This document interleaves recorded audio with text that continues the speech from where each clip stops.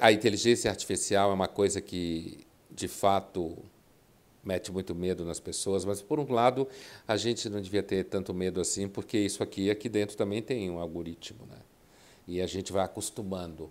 A primeira coisa que eu diria é que assim como a gente fosse acostumando com o celular, no sentido de que é um dispositivo muito mais do que um telefone, e na verdade hoje o que menos se usa é o celular para se falar no telefone, então há um processo de naturalização no uso da inteligência artificial de todos os níveis, e esse processo de naturalização vai continuar. E um dia, então, você vai chegar, quem está agora, sei lá, com 15 anos de idade, quando chegar para trabalhar, vai trabalhar ao lado de uma inteligência artificial, coabitar, como se fala hoje em dia, e vai ser absolutamente natural. Assim como alunos meus me perguntam hoje, Pondé, como é que era, como é que se viajava antes do celular, certo? Ou ah, algumas pessoas mais jovens ainda se perguntam como era a vida antes do Waze, como que você ia para um lugar antes do Waze existir, certo? Como que você descobria onde era o lugar?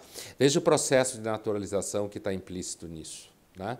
Então, eu não acho que no caso da inteligência artificial vai ser diferente porque o processo é gradativo. É claro que existe, existem problemas aí. Por exemplo, se a inteligência artificial, os robôs, forem enormemente mais produtivos e mais baratos, como serão, do que seres humanos, é evidente que as empresas vão optar por robôs de inteligência artificial, porque isso vai diminuir custos.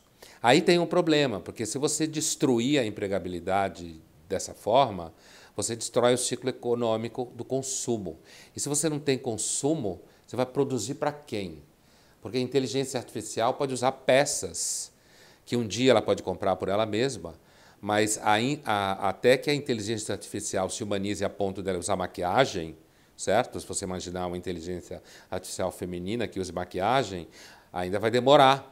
Então, o ser humano é enormemente importante na cadeia de consumo. Então, alguns defendem a ideia de que empresas que usarem robôs de inteligência artificial de forma pesada, eles deverão pagar impostos para que ah, não seja tão legal assim demitir seres humanos, certo? É, que, ou a empresa receba incentivo empregando o ser humano. Né? Por outro lado, a, a ideia de que a, a, alguns estados paguem uma renda mínima para que as pessoas consigam viver, mesmo que elas não consigam trabalho, melhor do que o auxílio-desemprego, porque a tendência ao desemprego vai ser grande na medida em que a inteligência artificial for tomando os espaços. Eu não acho que seja um problema ético, tá? No sentido que eu acho que a ética não consegue fazer muita coisa com o avanço técnico, não. É claro que tem gente que fica falando disso por aí, dizendo que vai conseguir, mas eu acho que é enrolação.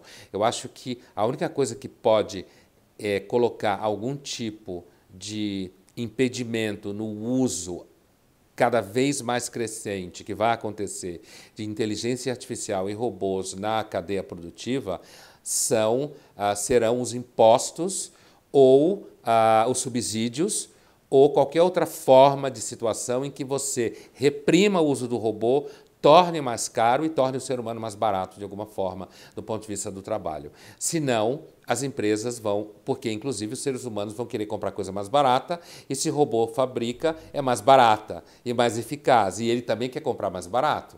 Agora, se você eleva o preço do trabalho empregando o ser humano e eleva o preço, o que, que vai acontecer? O próprio ser humano que consome não quer. Assim como tem gente que fala mal da escravidão aqui, não sei o quê, mas adora comprar coisa chinesa que é barata certo? Então você tem aí um ciclo de contradição que né, nesse momento não há solução, não há para onde ir, né, no sentido de uma solução definitiva. Mas eu não acho que a ética barre absolutamente nada assim como não barra em avanço técnico, biológico, não barra porque as pessoas, assim como elas precisam de produtos mais baratos, elas precisam de mais saúde, usufruir do corpo.